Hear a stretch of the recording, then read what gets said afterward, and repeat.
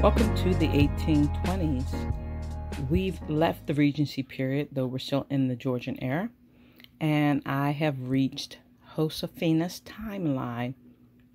Now, I've already made Josefina's skirt and camisa and sash from the American Girl doll patterns. I'll show you that in a moment. And I am now working on her Christmas dress.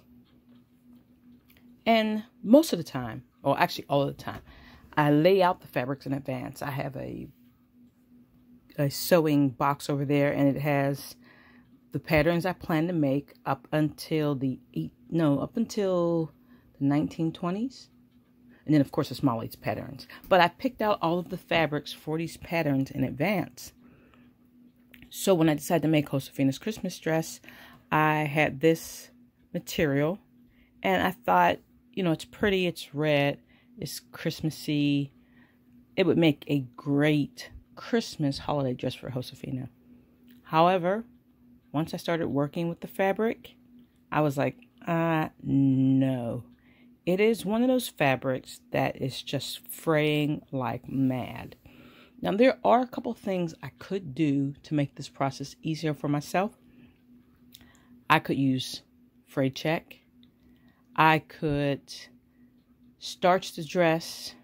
I basically size it in whichever manner I thought was the best. But I'm just thinking, no, I will just make another. Because it's going to come, become a problem for me in, in the long run. And I'd rather it not be. And I'm just not liking it as much. So we're going to say no to the dress. Which doesn't mean I won't finish this one, but it won't be the one that I use primarily on Josefina. So let me show you what I've decided to do. Uh, here are the cutout pieces of the red fabric. And I have a piece of this green, kind of looks blue, kind of looks green. And you might recognize it from the Molly dress. And there's just enough of it to cut out the Christmas dress for Josefina again. Now this one does need to go in the fold, so what I'll do is after all of the bigger pieces are cut out, I will take this small section, fold it, and then cut it on the fold. As you can see, there aren't a lot of pieces to this dress. Uh, it is, I don't, I want to say simplistic. I guess for me it is simplistic, but it's pretty basic dress it's very this one's very regency and its style has the high waistline and the low neckline. So there's still some of that evidence in the 20s of regency but it's not quite regency because josefina of course is uh, spanish influence. You know and i'm not sure if we're considering josefina latina or Hispanic or I just maybe want to say Spanish descent. I need to dig a little bit more into her history and see what she would be considered at that time. All right, at any rate, the Spanish dress in many ways is considerably different than the typical European dress of that era. And considering that we are placed in this timeline uh, in the Americas, uh, and uh, Josefina does have some native descent. So you're mixing the Spanish dress with the native dress of that time. So it is it has a even different flavor than the European, I should say mainland European uh, dress of that time. So I'm just going to stop there and say that. I don't want to I don't want to say something that's wrong because I kind of have to go back and reference because a lot of the patterns that I have been doing, well, actually all the patterns I have been doing so far, and majority of the patterns that I will do are based on European historical patterns. And when we're talking about European, we are talking about mainland Europe, uh, France, uh, Britain, England, um, basically, and you know what? Some of it we might want to add, like uh, Prussia and Austria, but that's pretty much what we're talking about that European continent when we're talking about European traditions. So, when you start talking about Spanish traditions or whatever mix came from the Spanish and the natives, uh, the different tribal groups in the Americas, uh, even if you talk about uh, what will become Russia, their dress was different than that of the European courts for quite some time. So, a lot of the dress history tends to be about European dress, and that is kind of a narrow space that I've been focusing on. So, when we start talking about Spanish dress and native dress, and even uh, the dress and what will become Russia, that's kind of out of my scope. So I don't want to dive too much into it without really um, being able to kind of get really detailed. Now, what I did do is uh, I did some reading, of course, because that's just the way I am. And I found these two really great videos one on making rebozos, the tradition of making rebozos, and one on dress in the Californias in the 1800s and early 1900s. And it is wonderful. It's a wonderful video. And there's also a lady who is examining her Latina or Latinx heritage through the dress of Josefina. It's kind of like the Kirsten Project. It's really cool. So, and she's done the research. And of course, she lives the culture, so that helps. Uh, I will link those videos below because you will find them very interesting.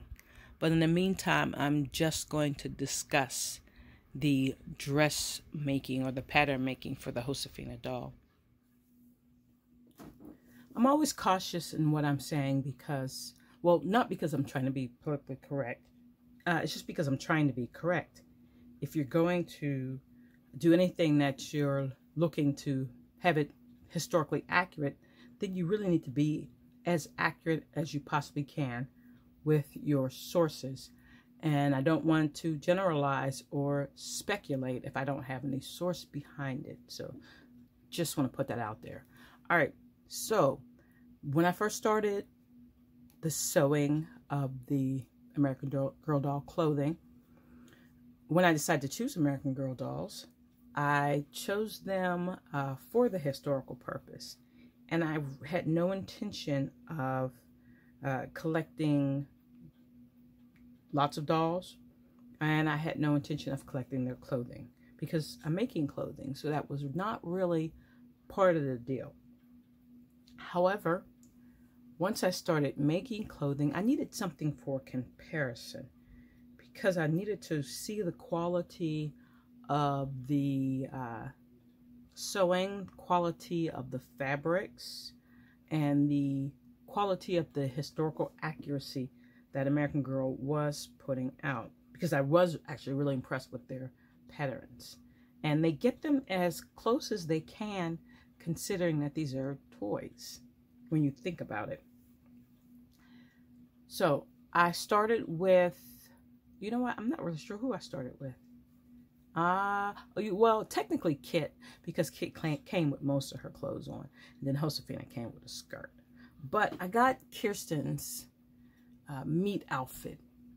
And then it was um, Kaya came.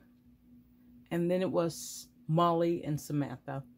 And I figured, well, if I'm getting everyone's meet outfits, I might as well get Josefina's, the whole outfit. And I kind of went back and forth about this because Josefina's patterns are basic. They're Josefina's patterns. Samantha has a huge uh, wardrobe, and Felicity has a pretty decent wardrobe. Kit has a massive wardrobe too for her time period. Um, I'm almost thinking she has more clothes than Molly does, and she definitely seems to have more clothes than Kirsten.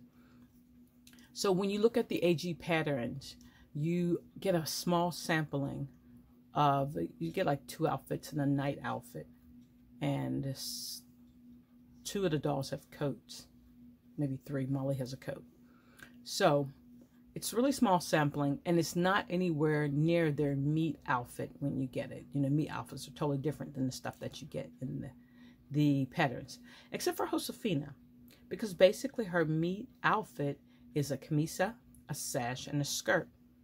And the majority of all her other outfits, except for uh, the Christmas dress, uh, there's like a riding dress, and there's some other dress that are like full dresses and they're they're kind of regency-ish style.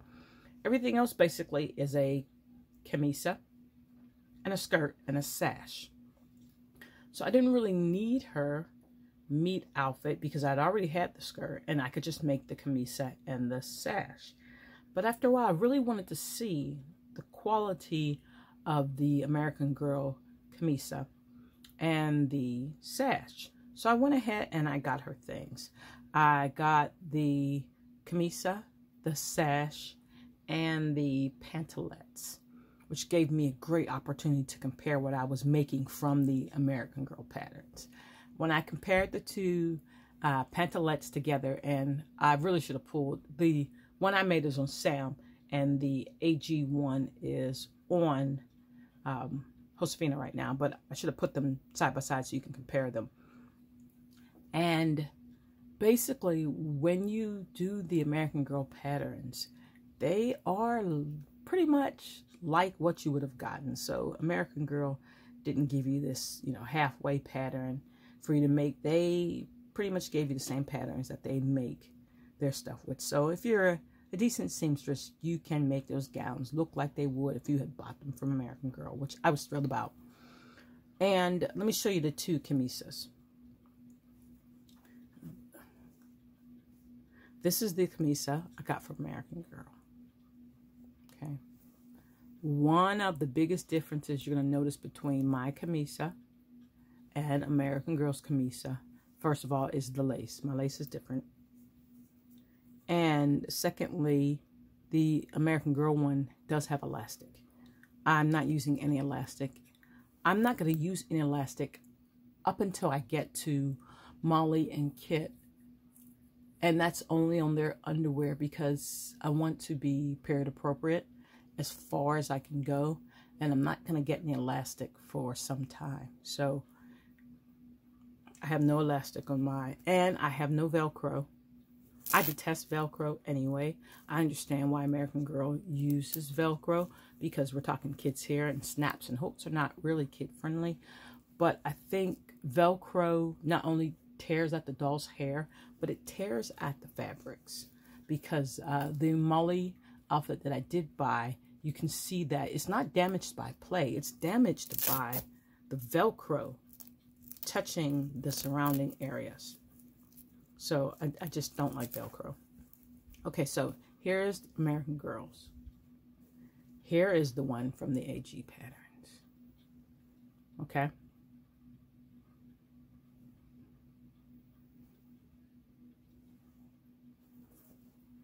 It needs to be closed with a snap, but I haven't closed it yet. But pretty much, this one's a little heavier cotton, which is also what I wanted to see. So uh, this is a cotton muslin, and I chose it actually for the underwear. That's actually why I bought it. But I had it on hand because I was out of the other cottons that I had used for the slips, which is more like this weight. This is a little heavier than a handkerchief weight. This is like a rag weight. There's a, I know there's a technical name for it or a thread count, but I don't I don't know offhand. But uh, the stuff I've been making with the corsets and the slips is about this weight, but I was out of it. So I got the muslin. uh, just because I know too that if they're all wearing slips under their American Girl doll dresses, I'm going to add a bulk that I don't want to add. So I didn't make it thinner. But basically, I followed the pattern and I have about the same without the uh, elastic that helps kind of gather this and make this a little puffier, which is really, really cool. I'm going to make the birthday camisa. I can't wait to see how that turns out with all the ruffles. So it just was really neat for comparison to have some of the clothing. I also discovered too that there are some American Girl doll clothes that I didn't like because I thought the fabric was more flimsy than the fabric that I am using. So that was a thought too. All right, so here are skirts. This is a basic skirt. Really pretty. Uh, the underskirt part goes up a little higher. I didn't make this part. And I don't remember it saying anything about this part in the pattern. So what I did instead, let me turn around Okay, Yes, this is a Velcro. Really pretty. Nice edge finishing. Uh, for my finishing, here's what I've been doing. Because this is serged and I don't have a serger. And I have a machine that sort of does zigzag but not really because it's a cam machine and that cam gets stuck. So it's complicated. And that machine probably could use some cleaning because it kind of tends to eat the ends of small items. So there's two things I've been doing. First of all, in the patterns, it recommends a couple clean edges, clean edge finishes. So I can whip stitch myself um, and clean the edge that way. I can use the pinking shears to clean the edge, which I've done in some cases. It depends on what's going to happen to the fabric. Um, if it's just me using, I can uh, cut this with the pinking shears, so we're not a problem. Let me see where one, one was. Cut the edges with the pinking shears. Yep, this has been pinked. I don't know if you can see that, but this has been pinked around there. It's been pinked across here too. And then I can double stitch two lines of stitching across that to hold that down. Also, what I've been doing is, see this one is pinked, is French seaming, uh, especially with like the Molly gown. And if you're not familiar with the French seam, it kind of works like this. You run a seam on the right side. Fold the garment to the wrong side and encase that seam inside of a new seam so that when you open it, there's no seam on either side. And I did that in the Molly dress. Kind of wish I showed you, but I'll show you again later. In this case, for this particular item, um, for the waist, which is going to get the most friction when I'm putting it on and off the doll, I just uh, tucked it, tucked it under again. So there are no raw edges. And I did the same on the uh, sides where we're going to have a lot of contact with the body. Uh, on this side, I did not, and I did not clean edge this right here. I'm not terribly worried about it, but I could run a second seam if I needed to. Now, on the underside, where I put the lace, so I could have that same lace effect here, what I did was top stitch. So this is top stitched onto uh, this hem here, and that is covering the hem and protecting the top of it. So pretty much it acts like hem tape. That's an easy solution. And then this one has a hook and eye for it. I made this with a fat quarter. Okay, so when you make the skirts with a fat quarter, this particular skirt is not going to be long enough to put it on the fold. So basically what I did was I was very careful with the pattern. I cut it in half and I just seamed it up the middle. And you know what? Let me tell you, when you do stuff like that, if you read through the history books and patterns, that is totally okay and historically appropriate because fabric was just not wasted. So things were pieced together when they needed to be pieced together. And I got the pattern pretty matched up. And so basically, we're good to go. I'm already loving this right here. All right, I'm going to stop there.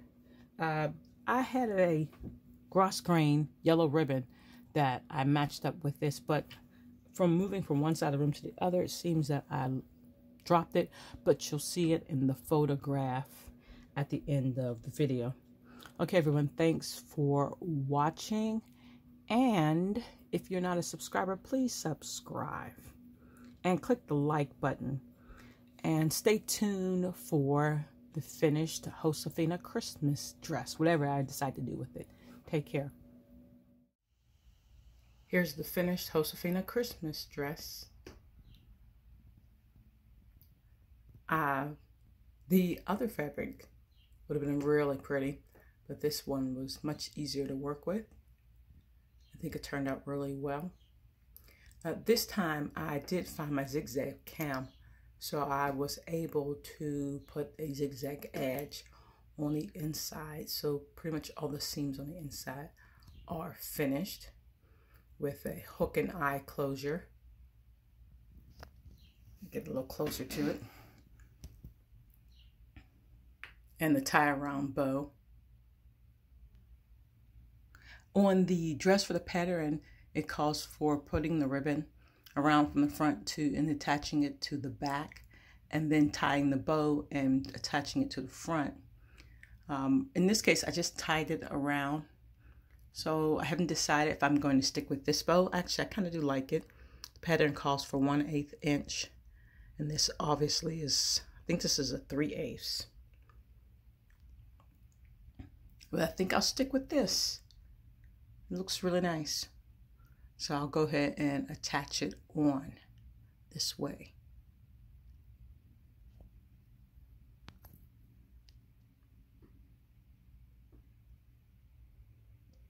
Get around the side of it. It really does have that Regency look to it with its own kind of flair. If you've seen her Christmas dress from the Pleasant Company one, um, usually the uh, ruffle pair is a little uh, shorter, not quite as tall, but I liked it that tall, so I just, I made it that way.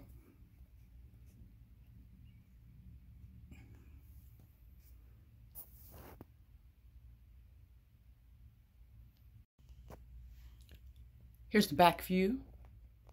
You can see the really nice gathers in the back. And this is a really deep back open seam back here. I'm pretty sure she could get into the dress without the seam being that far down, but it's really nice. Gives you that option. You can see those nice tailored sides. The cool thing about this dress is, you normally, you know, what happens is a lot of the modern patterns where you would put together the bodice front and back. You would close the bodice front and back, and then you would put the sleeves on. And so you're sewing the sleeves in a circle, which makes sleeves hard for a lot of people. But these uh, sleeves are put on flat. So the sides of the bodice are not sewn, they're flat. And then the sleeves are put on flat. And then in this case, instead of sewing the entire bottom of the dress together and then stitching it all the way around to the bodice, the skirt part was put on flat as well. First, it was attached to the front, and then the two sides were attached. So the entire dress was flat. And then what I did from there is laid it out flat and sewed from the sleeve, the end of the sleeve, all the way around to the inside of the arm and down to the bottom of the skirt. So it was all completely sewn flat. And what that allowed me to do is allowed me to finish the edges of the entire dress because a lot of times um, you when you close the seam up here, you're turning the sleeve inside out, and you can't always finish the edges around the arm side. But because everything was flat, I was completely able to finish those edges. So it was really cool. Uh, this right here uh, is zigzagged at the edges to give that serger look. Some of the other dresses I actually did a French seam on, and that was pretty cool too. This is Josefina's birthday camisa. Um, I wasn't going to make this one, but I made all Felicity's patterns. And uh, you know, I figured that once I made one camisa, uh, they're pretty close to each other, so there's no reason to make another camisa. But this one really is not the same. Um, the tiered sleeve here with the ruffles is just really cute. So I really couldn't resist the urge to make it. Uh, there was a lot of ruffling going on gathering, uh, which I'm, I'm getting pretty good at gathering on the machine. All the other gathering I've done so far has been by hand. So I've really been working on gathering with the machine.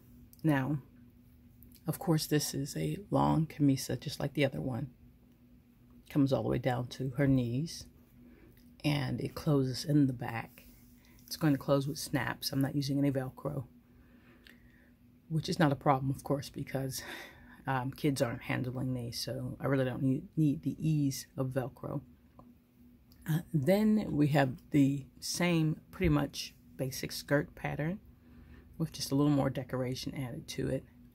Now, for this particular skirt, there is a different color yoke um, attached to it than the bottom of the skirt, which is what gives it this look. And um, the there's the pattern for the decorative loops that are on the bottom of the original um, skirt. I just I just didn't really feel like making them. Um, there were suggestions for using braided cord and sewing it on freehand motion on the machine which I really haven't done with this machine but it is very much possible um, embroidering it on or using a fabric paint. And I started to stamp it on with the fabric ink. Um, it's one of those things where I just kind of ran out of oomph and I was ready to move on. So I just added the decorative ribbon where the pattern suggested and then I used a zigzag on him. I really wanted to use a decorative stitch but on this Lady Lavender I'm having a problem with the cam uh, it goes in, but it doesn't readily come out. So I spent some time trying to pry out the zigzag cam and couldn't get it out. And so instead of using a different decorative edge, I just used the zigzag. At some point, um, it's one of those pieces they say breaks fairly easily. So I'm to have to find some really good way to easily pop the cam out by hand or find some way to fix the cam shaft so that I can take out the cams and use some of the more decorative stitches. But either way, I think it turned out, you know, pretty good. It's pretty decent for whatever my next round of Josefina clothing will be whenever I get back around to Josefina. Um, I might try some of the hand embroidery or um, I might, I don't know, we'll see. I might do all kind of stuff. We'll see how that goes. So basically, this is the end of Josefina. Josefina is 1824. And then I'm going to be moving on to Kirsten. She's next in the series with, I think it's 1854. And I am looking forward to The Little Prairie Girl. Thank you so much for watching. Thank you to my subscribers. If you haven't subscribed, go ahead and click that subscribe button down there and then click the bell for notifications. And you can always support my channel by getting something out of my Etsy store, whether it's yarn or requesting a custom order for one of the outfits that I've made so far. Or you can buy me a coffee. There's a buy me a coffee link in the description. Thanks a lot. Have a great day.